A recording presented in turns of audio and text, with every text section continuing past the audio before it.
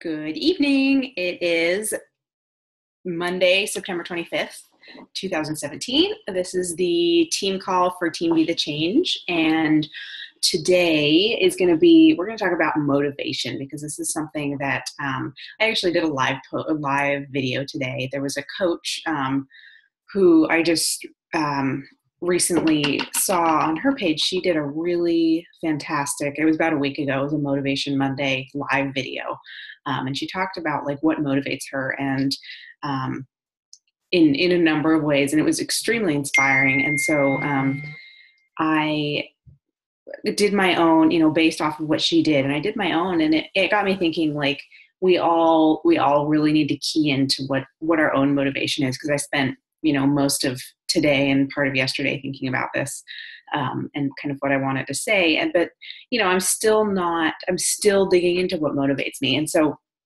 um, there's a couple of things that I. Um, some tools that I know of that I haven't fully gone through yet um, that I want to share with you tonight, and then also um, just like some thoughts and some things to kind of get you going, thinking about how to um, really dial into what your motivation is for having your own business, for helping people, for um, you know, for sticking to this. Because I mean, the main one of the goals of this, you know, your goal should be to be here in a year. Um, every single day, your goal should be to be here a year from today. Um, and and without understanding fully why why you want to do this and why it matters to you it's very hard to keep your momentum up. It's it's a challenge to stay engaged when you have bad days. Um, something else that um, melissa talked about or i think she just did a small post the other day maybe it was today in her team page um, something that oh no no no.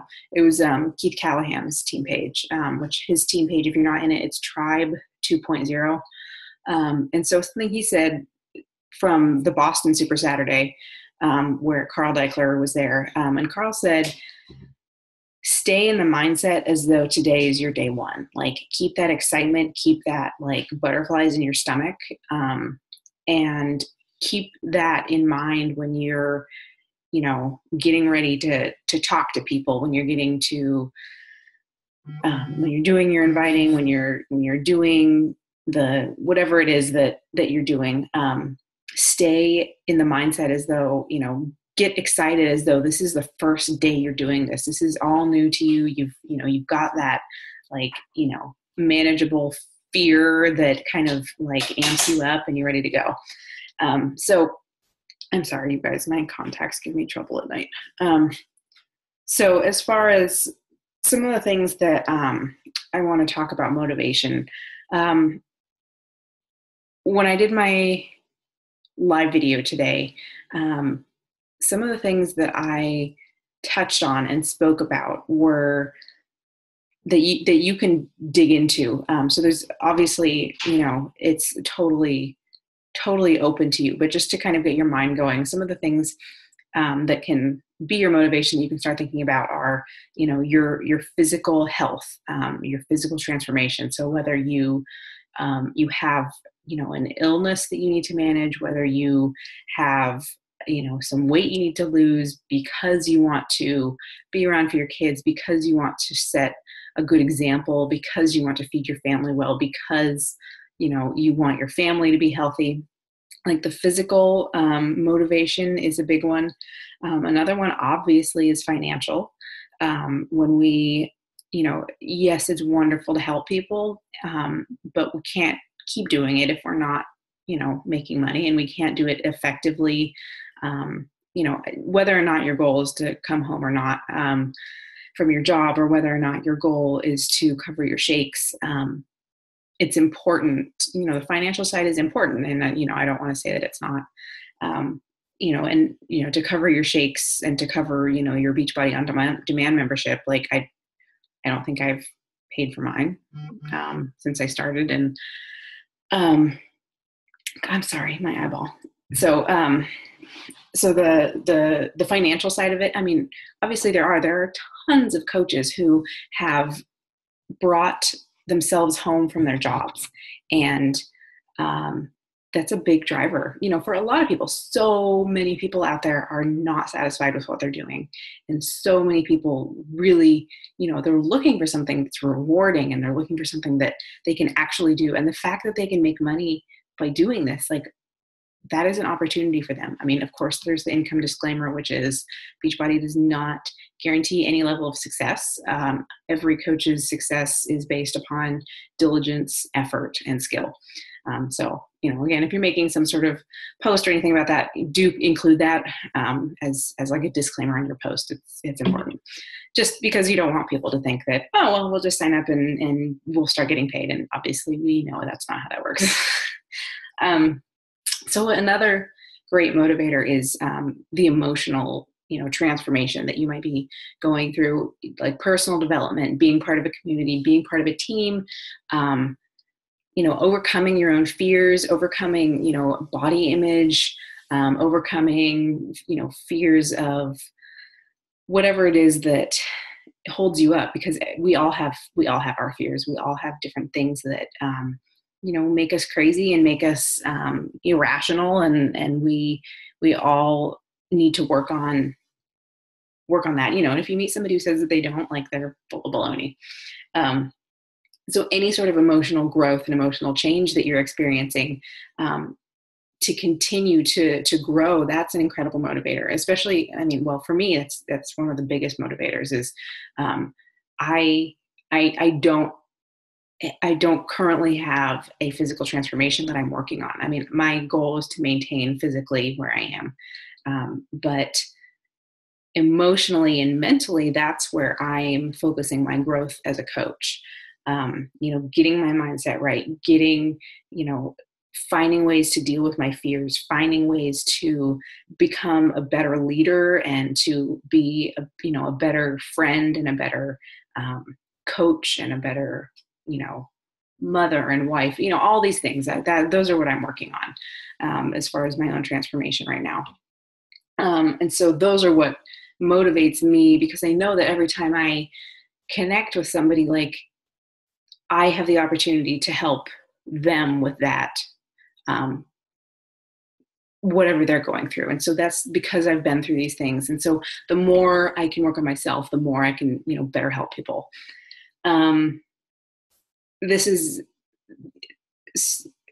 as far as motivation i wrote this one down you know I, this isn't one that i'm currently um, working on but if you you know revenge is a good one. Like if you want to look great you know embrace you laughing.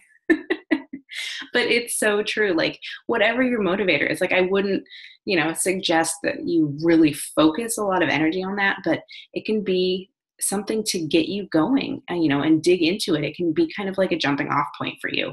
Um, obviously i wouldn't hold on to that and that's where the personal development and the emotional development comes in. Um, but to be honest like that's something that does motivate people. People you know you get you go through a breakup and you want to you know make your ex sorry and so you get in great shape and you you know you get happy and you, all these things i mean and that gets you started. Um, so that's you know something to consider. Obviously like i said don't focus too much on that one. Um, but do you know if that if that floats your boat and if that kind of sparks something for you then by all means like you know explore that a little. Um, you know altruism is a big one you know giving to others helping others um, being somebody that um, has others best interests before our own you know that's that's what we do as coaches. We are here to help others. Um, there's a really great quote by i believe it's zig ziglar and he says you will get everything in life that you want when you help other people get everything that they want. Um, it just comes to you. I mean, that's that's the definition of our job. We help people reach their financial goals. We help people reach their physical goals. Um, we help people, and in return, we become fulfilled. We grow our income. Um, we that's what we do. So um, that's a big one. That's a big motivator. Um, I'm listening to. I'm sorry, you guys. I have to grab some water. Sorry.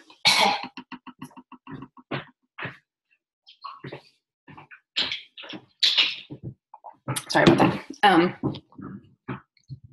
so I'm listening to a book called Grit, which um, I believe, so like I know Melanie Mitro, Beachbody Top Coach, she read it. I listened to her podcast. Um, she talked about it in a couple of different episodes. Um, Jeff Hill, I know, talks about it on the National Wake Up Call. He is reading it um, or has read it, but I started listening to it. And it's pretty dense um, just because she's a psychologist and she kind of speaks like a psychologist and she cites a lot of research and her own research and but at the same time like she has a lot of great information um, and something that i heard just recently was then this is from the book she talks about um, like she wants to find out what makes people gritty and by that she means like what makes people stick to something long term um, and she talks about um, the the grittiest people. She calls them gritty people, which I think is funny. Grittiest people. Um, they exhibit both an internal and an external motivation. And so, what she means by that, and like the example she gave, is I guess she um, she looked at uh, firefighters um, and she did an interview uh, within a, a, couple of fire departments of firefighters who earned um, or and she looked at their overtime work and so firefighters who responded that they enjoyed their job and that they were helping others. So like that they enjoyed their job was the internal and that they were able to help others was like the external motivation. So the people that responded that they had both of those ended up working harder um, and working more overtime than people who only responded one or the other either they liked their job or they enjoyed helping people. Um, and so i guess the takeaway from that is um, you know your your motivation can be multifold and it's it's good to have multiple motivations. Um, and and the reason for that is because i mean we're not always going to have the same um, the same motivation day in and day out that lights our fire. You know we do have to have things that you know multiple tools that we can pull from our toolkit um, of motivation so um, something that I have not done yet, but that I do need to do, and I, I started this evening, but I haven't gone very far, um, is to dig into what they call the seven levels of why. And what that is is basically you you pick something that you believe is one of your motivators and you write it out and then you ask yourself so say like your motivation is weight loss um, and then you say, okay, well, why do I want to lose weight? Well, because I want to feel good. Well, why do you want to feel good? Because I currently have poor self confidence and I don't like uh, to, you know, I'm uncomfortable naked. Well, why? Why do you want to look good naked? Because you know, and you go on, whatever, whatever happens to be. Um, you know, it could be anything. It could be, you know, my family. It could be, you know why why do i want to become healthier because i want to inspire my family to be healthier well why do you want to inspire your family to be healthier because i want my family to um, you know eat well and and be and make their own choices. You know you you dig into it and when you get to that seventh level of why that is your purest and truest level of motivation. Um, and you really i mean you really need to like dig down deeply deeply into amber where are you are you at mcdonald's I stopped to get my husband McDonald's, and I refused to go through the drive-through while you're on this call and hand McDonald's bags in front of the camera. So he's, I'm here, and he went inside, and then I was trying to set it on the steering wheel, and my phone like toppled down. So I'm like, all I could think about is you're on this call, and my little tiny picture is like flinging all over the place with McDonald's in the background. It is not for me; it's for my husband and my kids. But I was like like, this is gonna be the worst. Oh, that's too funny. Worst incidental little image inside of a Beachbody coach call no ever. Because I was afraid it, it was going to be this shot with like the bottoms of the McDonald's bags like Right. passing over. So, and then I felt bad because I knew I was distracting you because my my stuff was like flying everywhere. It was, No, I just saw the look on your face. I just saw the, the guilt. and then did you see? Did you actually see McDonald's behind me? Okay, I was like, did I make a McDonald's face? is that what this looks like?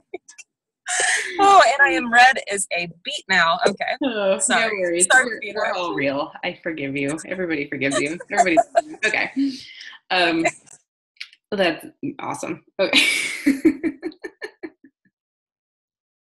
okay. Anyway, um, so you know the seven the seven levels of of why will get you deeply deeply down into what your true motivation is and you can you know you make a list for yourself you have it somewhere where you can read it you pull it up because everybody has the hard days, you know, and it might be a hard day or a hard week or a hard month or a hard year. And you need that to keep you going. You need to know why you're doing this and what drives you personally. Because what drives me is not the same thing that drives you. What drives you is not going to be the same thing that's going to drive your coaches. Um, and so we you know you have to find out what's right for you. You can't just take what somebody else has. I mean if you come to the same conclusions like that's great but it's really really important for you to dig into your own why um, and and your motivation. Um, and whether it's for your business or whether it's for your fitness or whether it's for um, you know your nutrition what whatever aspect of your life that you're working on um, you know whether you're trying to be a calmer parent or a you know a happier more loving spouse or if you're trying to you know look and feel your best. I mean all everybody has bad days and the best way to overcome them and not just fall into a slump where you slide backwards is to keep your motivation at front of mind um, so um, question that that's that's what i got for tonight questions So guilty. But no, no question. this is my motivation. it's taking my family to McDonald's. awesome okay Awesome. awesome all right well thanks everybody and we'll be back next week